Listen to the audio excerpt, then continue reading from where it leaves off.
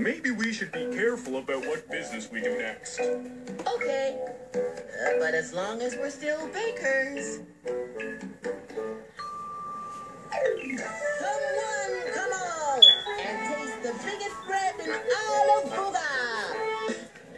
Gerard, I was thinking, uh, if yeast makes things grow, uh, then if I ate enough, I would be as tall as you, right?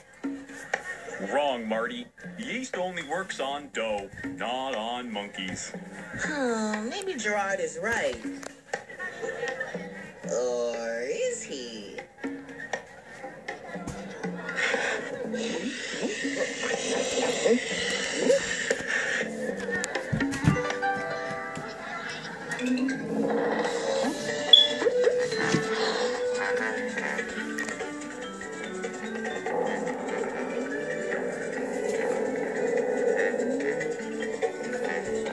I guess I was wrong.